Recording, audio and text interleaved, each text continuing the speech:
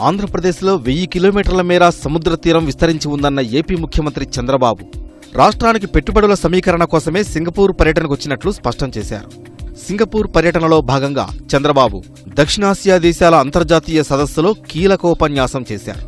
ఈ సందర్భంగా ఆయన మాట్లాడుతూ పివి నరసింహారావు చేపట్టిన ఆర్థిక సంస్కరణలతో భారత్ ప్రగతి బాట పట్టిందన్నారు.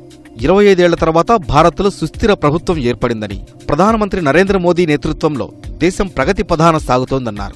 చిన్న దేశమైన సింగపూర్ అద్భుత ప్రగతి సాధించిందన్న బాబు సింగపూర్ మంత్రులు అధికారులు పారిశ్రామికవేత్తలు అన్ని విషయాల్లో సానుకూలంగా స్పందించారన్నారు.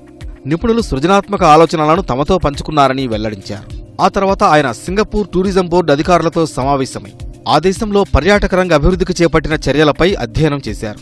రివర్ టూరిజం నదీ ప్రక్షాళన విధానాల గురించి అడిగి తెలుసుకున్నారు. తన రెండు రోజు పర్యటనలో ప్రముఖ సంస్థల సీఈఓలతో రౌండ్ టేబుల్ సమావేశం నిర్వహించారు Chandrababu.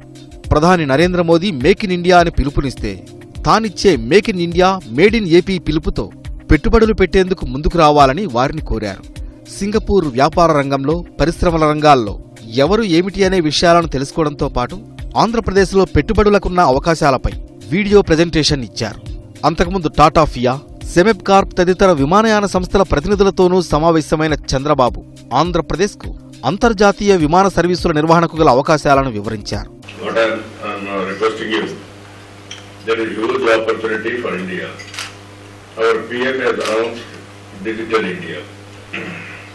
you, know, I promoted information technology. MCS is not a new organization for me. We had MOU earlier, long back. That is uh, how to go, a very good understanding. Somehow it didn't, uh, we didn't uh, take forward because of some political um, employees agitation that time, that was initial stage. So we didn't do that.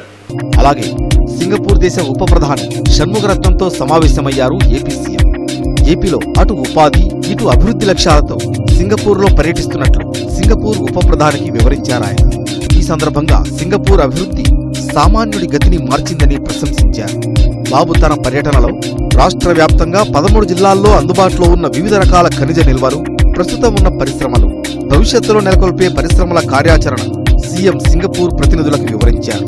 సుదీర్ఘమైన తీర ప్రాంతం ఎగుమతి దిగుమతులకు అనుకూలమైన ఓడరేవులు రహదారులు రైలు మార్గాలు ఇరవై నాలుగు గంటల విద్యుత్ సరఫరా మానవ వనరుల గురించి సవివరంగా వివరించారు. ఆ తర్వాత ముఖ్యమంత్రి అధికార బృందంతో కలిసి సెంటర్ ఫర్ లివబుల్ సిటీతో పాటు సింగపూర్ సిటీ గ్యాలరీని పరిశీలించారు. దాని ఎగ్జిక్యూటివ్ డైరెక్టర్ లిమ్సీ కింగ్తో భేటీ అయిన బాబు ఏపీలో పట్టణాభివృద్ధి అవకాశాలపై చర్చించారు. ఏపీలో మూడు మెగా సిటీలు పదమూడు స్మార్ట్ సిటీల అభివృద్ధికి సంబంధించి చేపట్టాల్సిన ప్రణాళికపై వారి మధ్య ప్రధానంగా చర్చ జరిగినట్లు తెలుస్తోంది. అలాగే మెరీనా బేలోని సింగపూర్ పోర్ట్ అథారిటీని సందర్శించింది అధికార బృందం. అక్కడి రవాణా ఎగుమతి దిగుమతులు పన్ను విధానం ఇతర అంశాల గురించి పోర్ట్ అధికారులను అడిగి తెలుసుకున్నారు. దాంతోపాటు ఏపీని స్టేట్ ఆఫ్ పోర్ట్స్గా రూపొందించాలన్న ప్రభుత్వ విజన్ను సింగపూర్ యంత్రాంగానికి వివరించింది బాబుతో పాటు సింగపూర్ వెళ్ళిన అధికారిక బృందం. రాష్ట్రంలో పదమూడు ఓడరేవుల అభివృద్ధిపై రూపొందించిన ప్రణాళికల్లో అంశాలను వారి దృష్టికి తీసుకువెళ్ళి సలహాలు సూచనలు తీసుకున్నారు. విశాఖ కృష్ణపట్నం కాకినాడ గంగవరం మచిలీపట్నం ఓడరేవుల అభివృద్ధిపై చర్చించారు. దుగరాజపట్నం రామాయపట్నం పోర్టులకు కల్పించాల్సిన అభివృద్ధి వసతుల గురించి అధ్యయనం చేశారు. ఆ క్రమంలో సింగపూర్లో ఉన్న తెలుగువారు ఏర్పాటు చేసిన ప్రత్యేక కార్యక్రమంలో బాబు పాల్గొని ఏపీ అభివృద్ధికి అందరి సహాయ సహకారాలు కోరారు. సింగపూర్ వాణిజ్య పరిశ్రమల శాఖ మంత్రి ఈశ్వరంతో భేటీ అయి పారిశ్రామిక విధానాలపై చర్చించారు. మొత్తం మీద ఏపీ సీఎంగా మొట్టమొదటి విదేశీ పర్యటనకు వెళ్ళిన చంద్రబాబు వివిధ రంగాల అభివృద్ధికి సంబంధించి అధ్యయనంతో పాటు పెట్టుబడుల ఆకర్షణపై ప్రధానంగా దృష్టి సారించారు.